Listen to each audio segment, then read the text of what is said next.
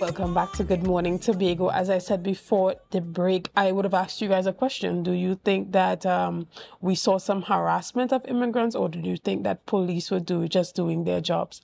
And from the responses that you guys gave, we see that most of you are saying that the police are indeed doing their jobs to ensure that the immigrants that are here are contributing to the economy and are here legally. So thank you for your response. As we move forward this morning, we are talking to Paul Richards, Independent Senator. Good morning, Mr. Richards, and welcome to our plat- and welcome to Good Morning Tobago.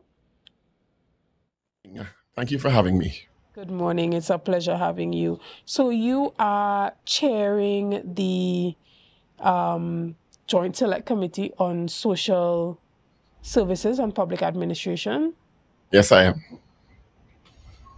Yes, uh, and, and we're really happy to be able to be on your uh, channel this morning to talk about our fifth town hall meeting, uh, which is coming up this coming Thursday, 13th June, uh, and it's going to be held at the Shaw Park Complex, Old Government Road in Scarborough, from 4:30 to 6:30 p.m. So thank you for having us to, to be able to talk about it and invite Tobagonians to be a part of this town hall meeting. Excellent. And tell us what are some of the key topics that will be brought forward in this town hall meeting on Tuesday? Well, the committee decided to look at the issues related to non communicable diseases, and more specifically, diabetes, cardiological diseases, and cancer, and their prevalence in Trinidad and Tobago, and the ability of our regional health authorities and the healthcare system in general to deal with and to provide services to the population of Trinidad and Tobago. We're also looking at how people are interfacing with the system in terms of how they're getting CDAP medications, medications under the CDAP program, which has been in the news a lot recently with the uh, comments from the Minister of Finance during the the, the joint the, the public uh, focus or the, the Parliament's focus, I should say, on the mid-year review, and also how the the public is dealing with the outpatient clinics and the overall interface with the public healthcare system. Uh, we thought this was important because NCDs uh, contributing to the largest number of mortalities in Trinidad and Tobago, as a matter of fact, around the world. So it's an issue that is of great public concern. And we, uh, in this fifth town hall meeting, are looking to get how Tobagonians are feeling about what their experiences have been with the public healthcare system. We started in, in Port of Spain at the Parliament building. We went to San Fernando, City Hall in San Fernando. We also went to Chaguanas. We went to Arima in our last one. And this one, of course, we could never leave out Tobago. So we're very eager to hear what Tobagonians are thinking about how they're experiencing their interface with the public healthcare system. Excellent. And there are members of the public who would say that we've been to numerous uh, town halls, we've spoken, we've said all that we can say, but yet we have not seen the type of change that we want to see. What can you say to these persons that are a bit disenchanted with the current healthcare system? And and and they have a point. We can't minimize their experiences at all, and that's some of the feedback we got at the previous four town hall meetings. That well, We've constantly uh, outlined our concerns, the shortcomings of this system. But what our intention is as a committee is to compile a report at the end of these interfaces with the public because we feel the interfaces with the public are the, our ability to get the, directly from the public how they've been feeling and what their interfaces and what their challenges are. And it's important to get the public view, although I understand the sentiment that they may be dis, uh, disenchanted and what's going to come out of this because we always have a lot of talk in Trinidad and Tobago. But uh, it is our hope that at the end of this, what we will do is create a report that will be laid in Parliament, and the relevant minister, in this case, the Minister of, of Health, will have an opportunity to respond uh, after liaising with the RHAs and the other players in the healthcare system to say what they acknowledge as legitimate problems and how they intend to remedy these problems. And the, the, the committee also has the ability in six months or a year or in, in any uh, time frame that we so choose to call back the ministry officials and say, what have you done about these issues that have been raised in this report? Excellent. And what about topics related to the mortality rate of um, baby within the neonatal care system? Have well, these topics come up, and how are you guys dealing with these type of this topics? Is, this is a very important topic. Of course, it's been in the public domain a lot, but it's not the remit of this particular inquiry. So each committee decides on its, its uh, inquiries for the year. And this one specifically is dealing with the issues related to NCDs, non communicable diseases, uh, including diabetes, cardiological diseases, cancer, uh, the CDAP program, and outpatient clinics. But of course, it also includes their interface with the overall public healthcare system so that if there's an issue that has arisen with someone who uh, had an issue in their in terms of their pregnancy and delivery and care thereafter. I'm sure they, they can raise it and will be included under the general interface with the healthcare system in this committee. Okay, and what about the technological advancement in healthcare? What are the topics surrounding this in that you guys are going to be looking at as it relates to NCDs? Well, uh, the let me just um, let me just correct it. The, the, venue is the Scarborough Library. Let me just make a correction.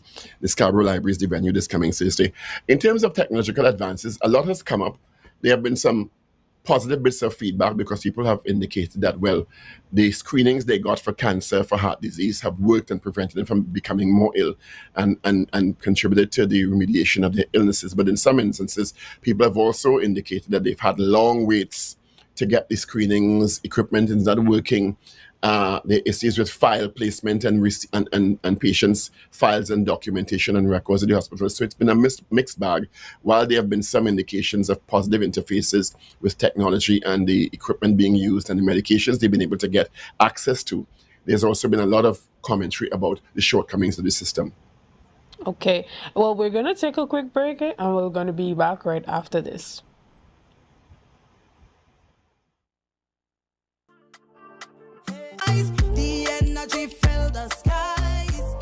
Good morning, good morning, and welcome back to Good Morning Tobago. If you're just joining us, we have been chatting with Dr. Richards, um, Dr. Paul Richards, who is an independent senator, and we're talking about that town hall meeting that's going to be happening at the Scarborough Library on Thursday at 4:30 p.m. Uh, and we're going to be talking about the regional healthcare and we're talking about non-communicable diseases so you can come out and talk a bit about your experience with public health care now um, dr richards are there any specific groups that you guys would like to attend the town hall meeting? Are there any specific groups of individuals that you want to hear from? It's a good question. Well it's open to the general public but if there are groups that support uh, persons with disabilities, uh, groups that, that, that NGOs that, that deal with uh, cancer patients, with healthcare in general, with, with issues related to mental health care in Tobago, any NGO is welcome. Any member of the public in Tobago is, is welcome. Even if you are a visitor to Tobago, uh, you're welcome at this public consultation this coming Thursday at the Scarborough Library. And of course, no one really needs an, uh, an excuse to come to Tobago. Tobago is such a beautiful island. So we're looking forward to coming and being a part of Tobago and hearing what Tobago has to say about their interfaces with the public healthcare system. I, and I think it's very important that we, the, the Parliament of Trinidad Tobago has made that decision to go out and get the views of the public. And I know you would have covered earlier on sometimes the public gets jaded. They make their recommendations, they make their comments about the, about several issues in society, and they don't think that they get the kind of redress they need. But the only way to keep uh, making sure that the decision makers hear their voices is to take take uh, avail of these type of, of types of opportunities. It's, it's usually broadcast live. And, and it's available on the Parliament channel. And if you'd like more information, you can call 624 7275. That's 624 7275 persons are also available, uh, are able, sorry, to send questions if they can't attend in persons to the Parliament at uh, JSC SPA at parliament.org. That is, let me just make sure I get that correct. JSC SSPA, JSC sspa at parliament.org. You can send an email with your question or comment, and we, we include those questions and comments if you can't attend in person uh, to the to, to the, the, the general uh, panel that's there in terms of their understanding of your issues, how you've dealt, how you're dealing with the healthcare system, because we think it's very important. It was very important to come to Tobago because Tobago has a different environment and may have a different experience with the healthcare system and interfacing with that in Tobago. Uh, medical healthcare professionals are also welcome uh, anyone who would have interfaced with the public healthcare system is welcome to the town hall meeting this coming Thursday at the uh, Scarborough Library. It starts at 4.30, by the way. Excellent. And what about situations that Tobagonians often encounter whereby they, you touched on it a bit earlier, where they have to travel to Trinidad to get much needed medical attention, whether it be for um, cancer care patients in oncology. What type of um, policies can we possibly see coming out from the parliament after they have given their feedback in these type of sessions?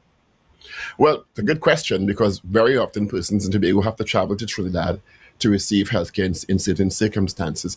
The, the committee's remit is not to identify the policy. The committee's remit is to, to give the public a chance to say what the issues are. And in those cases, one would imagine that because you're coming from Tobago, you may want some sort of arrangement to be made where you are seen because you, you don't have the ability in some cases to go back home on the same day and you may have to spend all day at the public health care facility. So I think it's a very good point that you raised there for persons who are coming from Tobago to be able to identify that particular circumstance so that the, the response from the Minister of Health or the regional health authorities can address that particular issue because it is an important issue for persons who are traveling from Tobago to Trinidad to receive health care. And we'll, of course, include it in our recommendations at the end of the report coming out of these public consultations. Okay, but outside of the public consultation and the town hall meeting, there's a there's a lot of work that you have been doing in diabetes and diabetic care. Can you tell us a bit about that? Well, we've had uh, the Diabetes Association and the Cancer Society come before the um, the committee uh, a couple of weeks ago and, and speak from their perspective, their membership, how they have felt the public healthcare system is dealing with those very important NCD issues. And because they, their membership will give them feedback. So dealing with the NGOs that that that uh, provide support to persons who may have had cardiological issues, uh, the the Trent Tobago Heart Foundation, the Cancer Society, Diabetes Association, and their leaderships has been very instrumental or instructive for us in terms of including their information in our final report and getting responses from the relevant authorities. Do you want to share any of those um, of the key comments that you've seen come forward uh, during well, these uh, consultations? Generally, the, the, comments, while we've had positive responses, there have also been the issues of the wait times hmm. that patients have to endure. Sometimes the issues of uh, how their records, their medical records are stored and accessed. Sometimes their accessibility, the accessibility to CDAP covered drugs and whether they are available or whether they've run out or not. Sometimes people get appointments in the public health system that are, I consider ridiculous because if you have a heart complaint and you get uh, an appointment for a follow up visit that is six months or a year down the road, your, your condition may deteriorate. So those issues have come up over and over again, and of course, will be included in our report uh, to the to the Parliament, which will get to the desk of the Ministry or the relevant authorities, and hopefully uh, positive responses in, in, terms of how the state intends to respond to those challenges will come out of the issue and the exercise. Can you reiterate to the public how similar consultations in the past has contributed to positive uh, policy change and how this particular consultation would also do the same for them? Well, for example, we had a consultation on elderly care centers in Trinidad and Tobago and the, the, responses we had, and we were able to also go out to visit a few elderly care, healthcare, uh, uh, elderly care centers, and coming out of the the issues that were raised and highlighted, a stronger regulatory framework was put in place for better care and, and supervision of elderly care persons. We also recently did one on early childhood care centers in Trinidad and Tobago, both public and private. And coming out of those, the Ministry of Education was able to see some of the challenges that are uh, happening at those early childhood care centers in terms of closing gaps. So there are positives that come out of it. In this case, the Ministry of Health and the regional health authorities will be held accountable by the committee uh, for the issues raised by the public who attend and who send in also their experiences via email and via uh, hard copy. Uh, and those are the highlighted during the town hall meeting. So it's a very important exercise in getting directly from the public what their experiences have been to collate this report uh, because it tells the public side of the story about how they feel about how they're being treated and how the services are being provided and if in their opinion the services are being provided at the correct level of professionalism etc Okay, and here in Tobago, one of the topics regarding healthcare that has continued to come up over the past um, couple weeks has to do with the 24 hour opening of the Roxborough Hospital. If comments are made on this particular issue, what can be done from the parliamentary level? Well, the parliament has a particular role. The committees in the parliament, our role is to collect the information and pass it on to the relevant authorities, in this case, the Ministry of Health. So if the data, and this is just a, a, a an example of, of what if, um, because I can't comment on what the ministry's response will be. That's that's up to the Ministry of Response. For example, if the data um, supplied suggests that well, the enough people need the services overnight or on a 24-hour basis because people can get ill at any time. My presumption is the ministry should respond to that and uh, and provide an explanation as to if it will be extended to 24-hour service, and if not, why not? And if it is not done so, what measures are going to be put in place for persons who are ill when the, the institution is not officially open. So I think those are the kinds of things that can come out of this because the, the committee can hold the ministry accountable for the responses that the public gives us in terms of whether or not they feel they're getting the adequate level of service on a 24 hour basis. Okay, and well, this is an excellent initiative to be able to get that feedback from the public, uh, especially seeing that uh, over time persons are losing their confidence in the healthcare system. Now, this information is extremely important as the Parliament uses it to make recommendations to the Ministry of Health um, for policy changes. Um, as we encourage people to come out, um, can you let them know why it's really important to be a part of this initiative on Thursday? It's very important to come out this coming Thursday to the Scarborough Library. It starts at 4.30 because this is a chance where you get to directly interface with parliamentarians who are on this committee, the Joint Select Committee on Social Services and Public Administration, because the inquiry is aimed at improving the service to you in the healthcare sector, in getting your voice to be heard, because you are the end users of the system and your voices and experiences should be directing policy changes and mechanisms to improve the services to the people of Trinidad and Tobago because at the end of the day it's your taxpayers dollars that are, that are being uh, used to provide the service and the service should come up to the standard that you expect should be provided. So it's very important that we hear your voices and we're looking forward to you coming to the, the, the library uh, this coming Thursday and talking to us and telling us what your experiences have been, particularly in relation to NCDs, the CDAP program, and the general healthcare provision in Tobago. Okay. All right. Thank you, Dr. Richards. We want to thank you so much for coming on and giving us the time and letting Tobago know that their voice is Im- indeed important and necessary in the conversation regarding healthcare and improving public health, especially where non-communicable diseases are concerned. We also want to thank you for all the work that you have been doing and that you continue to do and for choosing Tobago updates this morning. Guys, we want to thank you so much. We're going to take a quick break and we'll be back right thank after this.